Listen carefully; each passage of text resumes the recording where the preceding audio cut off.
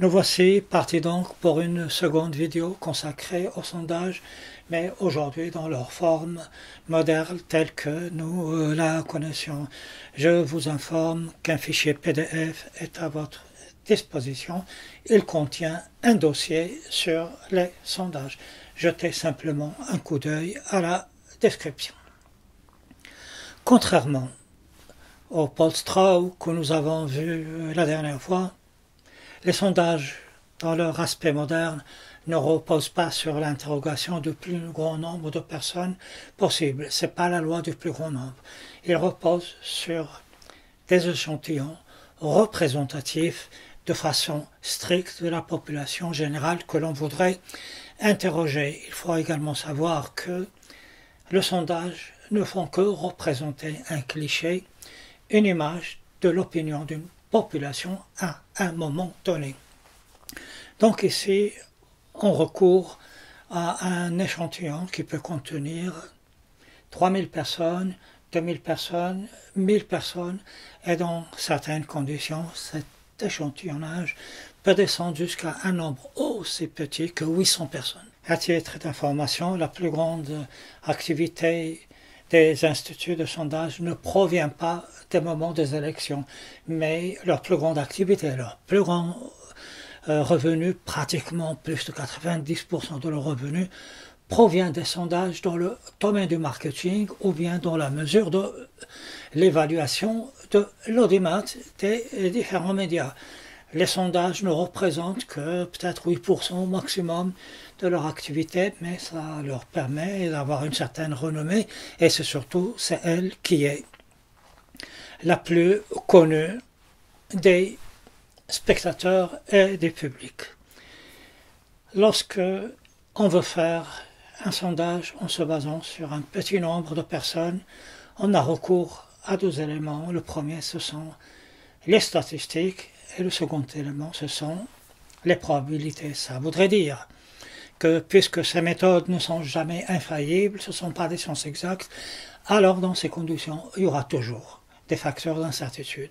Et justement, le rôle des instituts de sondage est de trouver des facteurs de correction, des facteurs pour pondérer les résultats puisque nous sommes en période euh, de pré-élection, euh, c'est-à-dire de campagne électorale pour les législatives européennes de 2024, il est quand même important de comprendre certains aspects des sondages euh, modernes.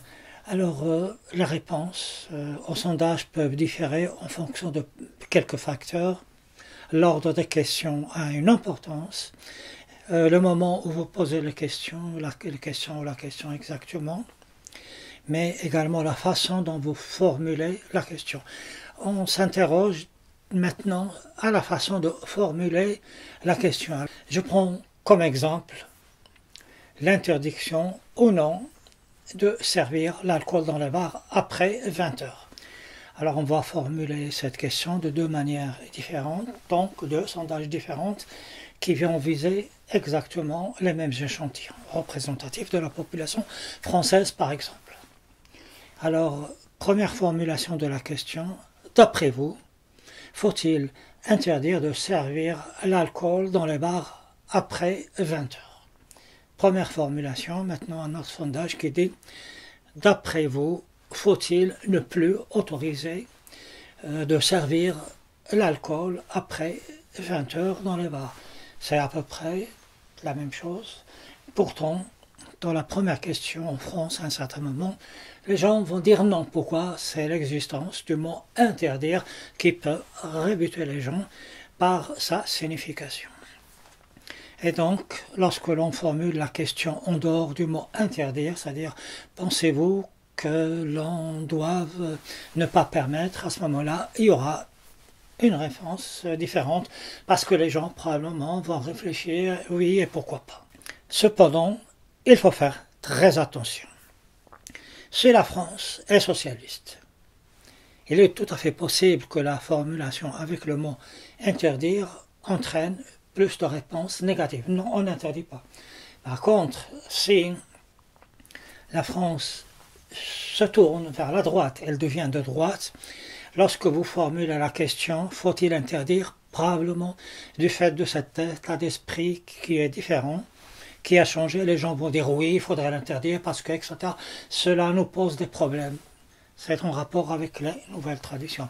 Et par contre, euh, cela se vérifie rapidement, il se comprend aisément. Si vous posez la même question euh, du bar, faut-il permettre ou faut-il interdire, dans un pays à tendance religieuse qui ne permet pas tellement l'alcool, la réponse dans tous les cas de figure sera interdiction. Donc euh, il faut faire attention avec les questions. Donc en pratique prudence, mais les instituts de sondage en principe connaissent ce genre de phénomène. Un autre élément qui peut avoir une influence sur euh, les résultats des sondages est l'ordre des questions. On se propose de faire un sondage où la réponse est par oui ou par non sur euh, l'interdiction de la peine de mort. Alors on pose euh, la question de cette manière. Première question dans l'ordre 1. Pensez-vous que la peine de mort est une barbarie. Oui ou non? Seconde question, pensez-vous qu'il faut, euh, donc dans l'ordre, pensez-vous qu'il faut autoriser dans certaines conditions de meurtre de masse avec des enfants la peine de mort? Une personne qui est contre la peine de mort, à la première question, va répondre oui, la peine de mort est une barbarie. Mais elle pourrait penser au fond d'elle-même que même si la peine de mort est une barbarie, on pourrait l'appliquer dans certaines conditions de crimes horribles avec massacre euh, de personnes, massacre en masse et massacre d'enfants. Mais pourtant, parce qu'il a dit oui à la première question, il pourrait, pour être en conformité dans le sondage uniquement avec sa première réponse, il va peut-être dire non, même lorsque il y a des crimes de masse, il faudrait ne pas appliquer la peine de mort, alors que dans la vie civile, il serait pour l'appliquer tout en pensant que la peine de mort est barbare. Ça, c'est parce que la personne voudrait rester logique avec elle-même. Donc, il faut faire attention. Un autre facteur qui peut interférer est le moment où l'on pose la question. Nous sommes en France, et euh, on voudrait poser une question sur l'immigration. Faut-il l'interdire ou est-ce qu'il ne faudrait pas le faire? Alors, euh, si vous posez la question à un moment crucial, émotionnel, où l'actualité nous parle à tort et à travers tout le temps de meurtres de femmes, d'enfants ou n'importe quelle violence commise par des immigrés, il y a de fortes chances que cela ait une influence sur la réponse. C'est normal, choc émotionnel. Par contre, euh, il sera intéressant de reposer la question deux mois après, de voir les changements. Alors, si il y a des changements, des changements, cela permet aux instituts de sondage de trouver des facteurs de pondération. Peut-être même, avant de poser cette question, euh, poseront-ils des questions test pour voir quel est l'état de l'émotion et en tenir compte en posant la question cruciale. Voilà, vous l'avez compris, le sondage n'est pas une affaire simple, elle est compliquée. La prochaine fois, je passe avec vous quelques exemples de sondages où euh, les instituts se sont complètement trompés. 1995 avec Edouard Balladur, pour ceux qui s'en souviennent, alors que les sondages le donnaient gagnant à tous les coups.